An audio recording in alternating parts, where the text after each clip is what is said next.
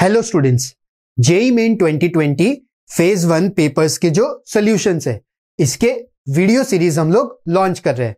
इन सारे वीडियोस को हम अवंती गुरुकुल के यूट्यूब चैनल और अवंती गुरुकुल के ऐप पे अपलोड करेंगे। तो इनको एक्सेस करने के लिए आप हमारे चैनल पे ट्यून रहिए। यहाँ पे हम कुछ इंपॉर्टेंट क्वेश्चंस को डिस्कस करेंगे।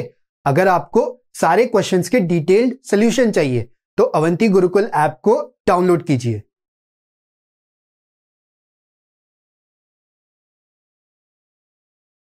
तो आपने अभी केमिस्ट्री का जो पहला क्वेश्चन देखा आ, उस क्वेश्चन में आपको E naught copper two plus से कॉपर का इलेक्ट्रोड पोटेंशियल दिया है।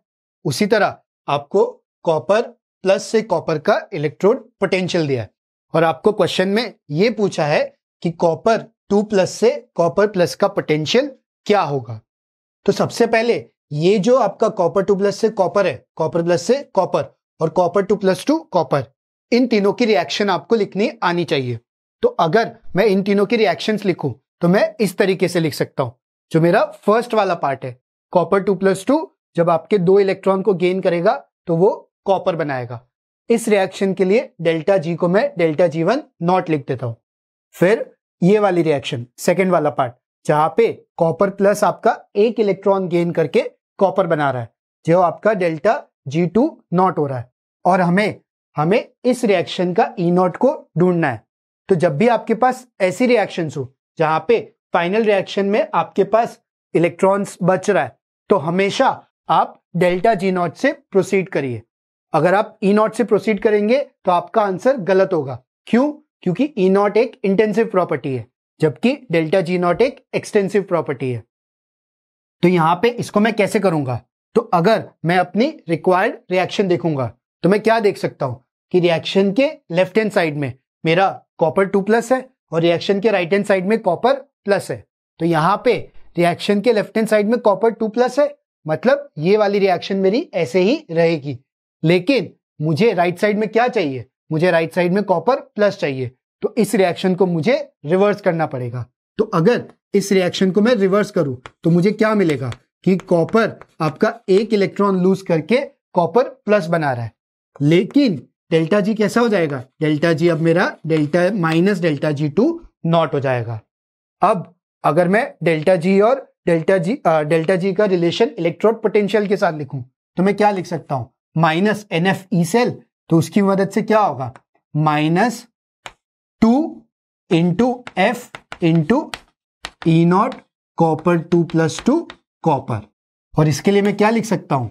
डेल्टा जी को मैं क्या लिखूँगा? माइनस ऑफ़ माइनस क्योंकि यहाँ पे भी मेरे पास माइनस है तो मेरे को यहाँ पे भी माइनस लिखना पड़ेगा which is equal to what one into F into E naught copper plus two copper अब अगर इन दोनों रिएक्शन को मैं ऐड कर दूँ, ये वाली रिएक्शन और ये वाली रिएक्शन इन दोनों को अगर मैं ऐड कर दूँ तो मुझे ये रिएक्शन मिल जाएगी। तो अगर मैंने इन दोनों रिएक्शन को ऐड करा तो मुझे क्या मिलेगा? मेरे साथ में ये कॉपर और ये कॉपर कैंसिल हो जाएगा और ये टू इलेक्ट्रॉन और ये वन इलेक्ट्रॉन कैंसिल होके एक इलेक्ट्रॉन बच जाएगा। तो मेरी फाइनल रिएक्शन क्या होगी? Copper two plus plus one electron will give me copper plus और मुझे इसी रिएक्शन का ई नॉट ढूंढना है। इस रिएक्शन के डेल्टा जी को मैं बोलता हूँ delta G three naught which is equal to what which is equal to इन दोनों का sum which is delta G one naught plus of minus delta G two naught. अगर यहाँ पे अब मैं वैल्यूज़ डालने लगू तो डेल्टा जी थ्री नॉट को मैं कैसे लिख सकता हूँ?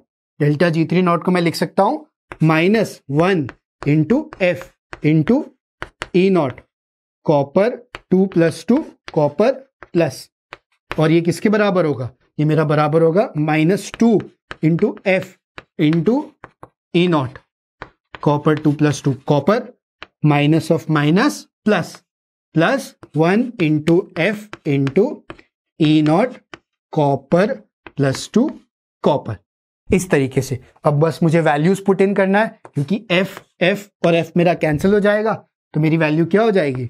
Minus of E naught copper two plus two copper plus is equal to what minus two into E naught copper two plus copper की वैल्यू क्या है? E naught copper two plus two copper की value है zero point three four volt plus E naught, इसकी value क्या है? Zero point five five two into zero point five two two. तो जब आप इसको सॉल्व करेंगे तो आपका आंसर आएगा E naught copper two plus two copper plus is zero point one five eight volt तो आपका यहाँ पे फाइनल आंसर है, ये है।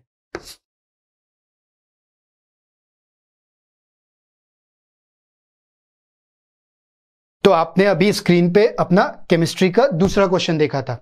इस क्वेश्चन में हमें इंटरमोलिकुलर इंटरैक्शंस के बारे में पूछा है। हमें यह बोला है कि इन स्पीशीज के इंटरमोलिकुलर फोर्सेस को हम ऑर्डर में अरेंज करें। ये ऑर्डर आपका इंक्रीजिंग भी हो सकता है डिक्रीजिंग भी हो सकता है। तो यहाँ पे हमें इन तीनों को अरेंज करना है। तो यहाँ पे हमें कैसी कैसी स्पीशीज दी है? हमें आयन डाइपोल आयन आयन और डाइपोल डाइपोल तो सबसे पहले हम देखते हैं आयन आयन तरीके का इंटरेक्शन किसमें होता है। आयन आयन तरीके का इंटरेक्शन आपका एल टाइप कंपाउंड्स में होता है मतलब कि आयनिक कंपाउंड्स में, जहाँ पे एक आयन दूसरे आयन के साथ में इंटरेक्ट कर रहा है। तो ये क्योंकि आपके प्योर चार्जेस है तो ये आपके बहुत ही अच्छे से एक दूसरे से अट्रैक्ट करते हैं। फिर हम देखते हैं आयन डाइपोल इंटरेक्शन तो आयन डाइपोल किसमें होते हैं? मान लीजिए इसी एनएसीएल को अगर मैंने इसी एनएसीएल को अगर वाटर में डिजोल्व करा तो क्या होगा? ये एन प्लस आपके वाटर में जो ऑक्सीजन है वाटर में जो ऑक्सीजन है, इसके साथ में इंटरैक्ट करेगा। और इस ऑक्सीजन और हाइड्रोजन पे आपका डाइपोल मोमेंट है। कि यहाँ पे, क्योंकि ऑक्सीजन ज़्यादा इलेक्ट्रोनेगेटिव है हाइड्रोजन से तो उसके ऊपर एक डेल्टा नेगेटिव आएगा और इसके ऊपर एक डेल्टा पॉजिटिव आएगा। तो इस तरीके के इंटरेक्शंस को हम आयन डाइपोल इंटरेक्शन बोलते हैं। अब क्योंकि ये प्योर चार्जेस यहाँ पे नहीं है, यहाँ पे सिर्फ़ मेरे पास एक ही प्योर चार्ज है और दूसरा पार्शियल चार्ज है तो ये इंटरेक्शन आपका इससे कम होगा। तीसरा मेरा है डाइपोल डाइपोल डाइपोल डाइपोल किस तरीके से होता है? अगर मान लीजिए मैं दो एचसीएल के मॉलिक्यूल्स लू तो इस एचसीएल के मॉलिक्यूल में, क्योंकि क्लोरीन आपका बहुत ज़्यादा इलेक्ट्रोनेगेटिव है एज कंपेयर टू हाइड्रोजन तो यहाँ पे एक डाइपोल आपका जनरेट होगा कुछ इस तरीके से। ऐसा ही डाइपोल आपका इसमें भी जनरेट होगा which is what delta plus and delta minus तो ये आपका इंटरेक्शन होगा इस तरीके से। अब क्योंकि यहाँ पे पार्शियल चार्जेस का इंटरेक्शन है तो ये इंटरेक्शन आपका इनसे और भी कम होगा। तो यहाँ पे आपका ऑर्डर क्या होगा? यहाँ पे आपका ऑर्डर होगा, सबसे अच्छा है आयन आयन फिर आयन डाइपोल फिर डाइपोल डाइपोल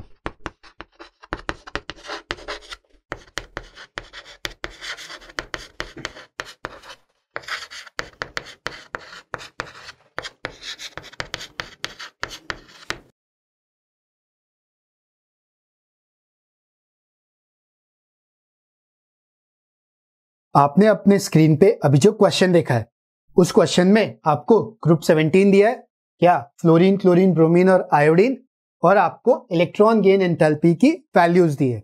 आपको ये बताना है कि कौन सी वैल्यू किसकी हो सकती है। अब ऑफ़ कोर्स आप में से बहुत लोग ये सोच रहे होंगे कि हम ये वैल्यूज़ को कैसे याद रखेंगे। एक्चुअली आपको ये याद नहीं रखना है। आपको बस इनका ट्रेंड याद रखना है। तो अगर आपको इलेक्ट्रॉन गेन एंथैल्पी का ट्रेंड याद है तो आपको ये पता होगा कि यहाँ पे एक एक्सेप्शन भी है। क्या? फ्लोरीन और क्लोरीन में। हमारा जनरली एक्सपेक्टेशन क्या होता है? कि फ्लोरीन की इलेक्ट्रॉन गेन एंथैल्पी सबसे ज़्यादा होनी चाहिए। लेकिन किसकी होती है? वो होती है क्लोरीन की। तो इसका मतलब यहाँ पे जो सबसे बड़ा नंबर है, वो आपका बिलोंग करेगा क्लोरीन को। तो क्लोरीन की इलेक्ट्रॉन गेन एंथैल्पी क्या होगी? माइनस थ्री फोर्टी नाइन फिर आपका क्लोरीन आता है। तो जो सेकेंड हाइएस्ट नंबर है वो आपका फ्लोरीन को बिलोंग करेगा।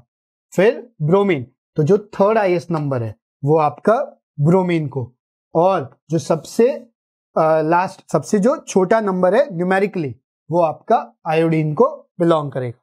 तो यहाँ पे आपका आंसर क्या होगा? आपका आंसर वो ऑर्डर होगा जहाँ पे आ, पहला नंबर आपका थ्री थ्री थ्री होगा फिर थ्री फोर नाइन फिर थ्री टू फाइव और लास्ट में टू नाइन सिक्स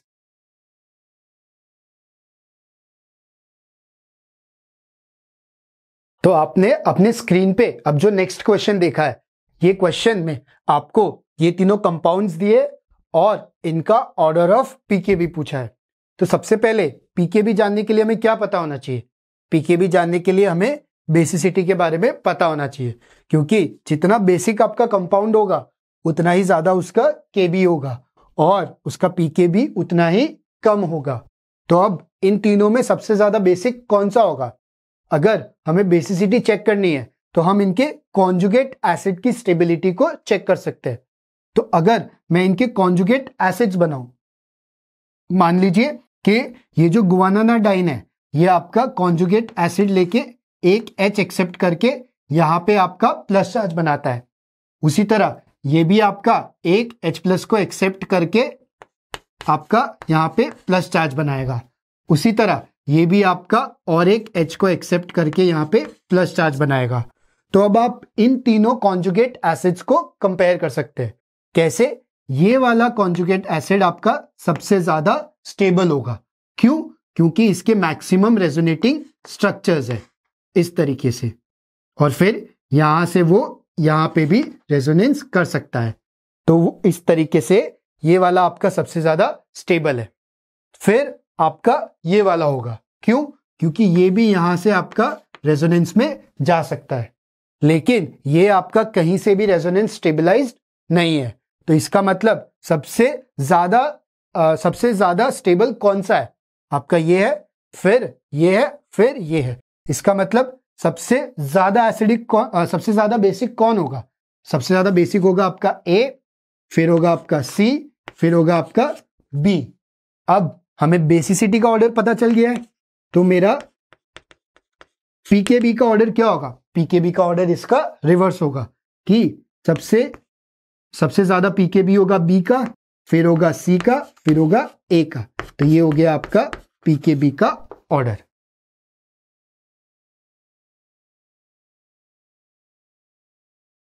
तो आपके सामने अभी जो क्वेश्चन देखा है, हम इस क्वेश्चन की बात कर रहे हैं। जिसमें आपका वन मिथाइल इथाइलिन ऑक्साइड।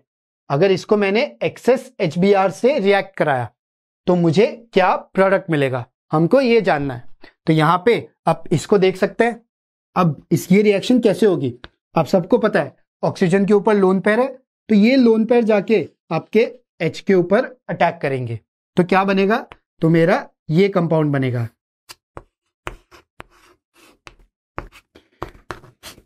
इस तरीके से। और ऑक्सीजन के ऊपर एक प्लस चार्ज आएगा। अब ऑक्सीजन के ऊपर प्लस चार्ज आना ऑक्सीजन के लिए डिजायरेबल नहीं है तो वो इसको ब्रेक करने की कोशिश करेगा। लेकिन कैसे? ये बी आर माइनस आपका इस पॉइंट पे अटैक करेगा और इस तरीके से ये खोल देगा। तो अगर मैं यहाँ पे इसको नंबरिंग दू, कि इसको मैं फ़र्स्ट कार्बन बोलूँ, इसको सेकेंड और इसको थर्ड तो ये कैसे होगा कि ये बी आर माइनस मेरा सेकेंड कार्बन के ऊपर जाके अटैच होगा। तो यहाँ पे वन, टू, थ्री, ऐसे मैंने तीन कार्बन बना दिए। अब यहाँ पे क्या हो रहा है? वन पे मेरा कुछ कुछ भी सब्सटीट्यूट अटैच नहीं है। टू पे मेरा बी आर अटैच्ड है और थ्री के साथ मेरा ये ओ OH जा रहा है। तो ये ओ OH मेरा यहाँ पे आएगा। लेकिन यहाँ पे हमारे पास एच बी आर कैसा है? हमारे पास एच बी आर एक्सेस में है। तो इसका मतलब क्या होगा कि और एक आर आपका अटैक करेगा और वो इसको रिप्लेस करके आपका फिर से बी आर बना देगा। इस तरीके से। तो आपका फाइनल प्रोडक्ट ये होगा।